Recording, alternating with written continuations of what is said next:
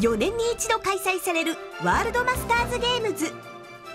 おおむね30歳以上のスポーツ愛好家なら誰でも参加できる障害スポーツの国際大会で2021年の舞台は日本。しかも関西。このコーナーではシリーズで県内各地が舞台となる競技をご紹介します。その第2弾はローンボールズ。ローンボールズってどんなスポーツ？ということで明石公園にあるローンボールズコートにやってきました。この日はローンボールズ愛好家の皆さんによる大会が行われていました。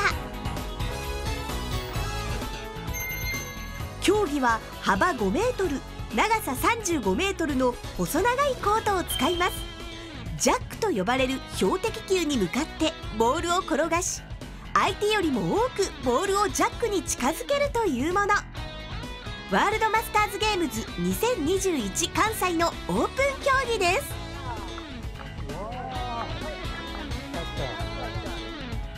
そして面白いのはこのボール。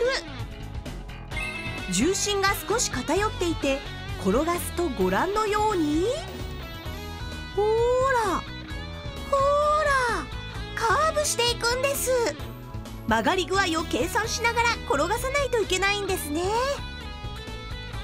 1対1の個人戦から4対4のチーム戦まで楽しめるローンボールズ。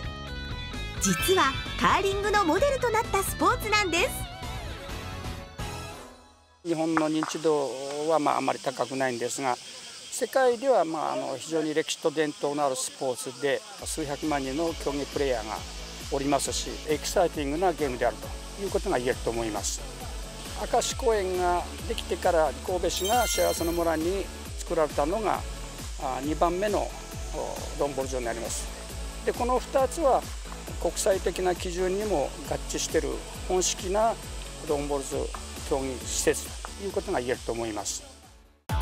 さてここからは森さんにゲームの流れと点数の数え方を教えていただきます。じゃんけんで勝った方の選手が最初にジャックを投げます。そこからプレイヤーは持ち球4球をお互いに投げ合うわけです。相手チームの一番近いボールよりも自分のチームのボールが何個入ってるかということになってですね8エンドから10エンド繰り返します。例えば8エンド終わってトータルのポイント数が、まあ、野球でいうトータルスコアですね。多い方がそのゲームの勝者ということになります。ふむふむ。前半の1投目2投目はどう投げたらいいですか？そうですね。まず1投目2投目はとにかく相手の選手よりも先手を取ることすなわちあの相手のボールよりも自分のボールをジャックに近づけることを狙いとして投げます。では後半の3投目4投目は？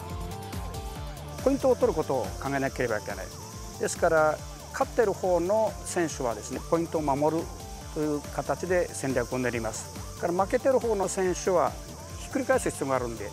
アグレッシブに攻めてくるとそういう戦略を取りますね。そして大逆転を狙えるこんな技も。なななんとジャックを動かすことで大逆転できるのもローンボールズの醍醐味なんです。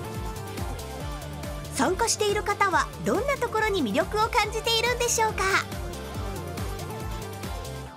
お互い1球ずつ投げ合うので投げ終わった後っていうのはその都度状況っていうものが変わってくるんですけど、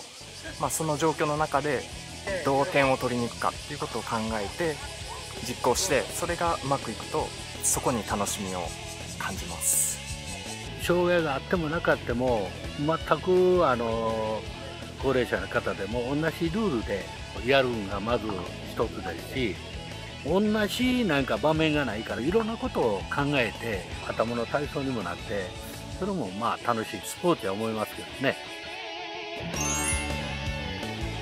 10月12日から14日この明石公園でワールドマスターズゲームズのリハーサル大会が開催されます。